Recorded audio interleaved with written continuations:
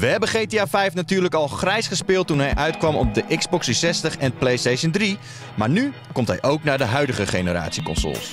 Er zijn genoeg redenen om een van de beste games van de afgelopen generatie opnieuw te spelen, maar wij hebben de top 3 belangrijkste redenen op een rijtje gezet. So you're back in the game? I guess.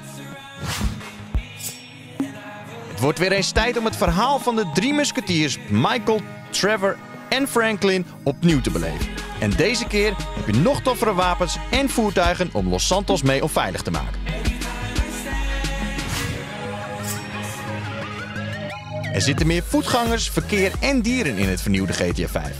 Maar het belangrijkste is misschien wel de hogere resolutie en drawing distance.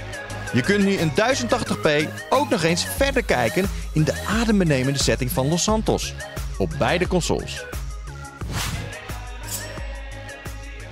GTA Online is beter dan ooit. Je kunt nu met 30 in plaats van 16 man chaos zaaien. Je personage kun je overnemen naar je nieuwe console. Dus je hoeft niet meer uren te grinden om een strakke wagen te kunnen betalen. Maar de ultieme reden is natuurlijk de first-person modus. Zo wordt Los Santos nog harder en vetter. Want dit wil je gewoon spelen.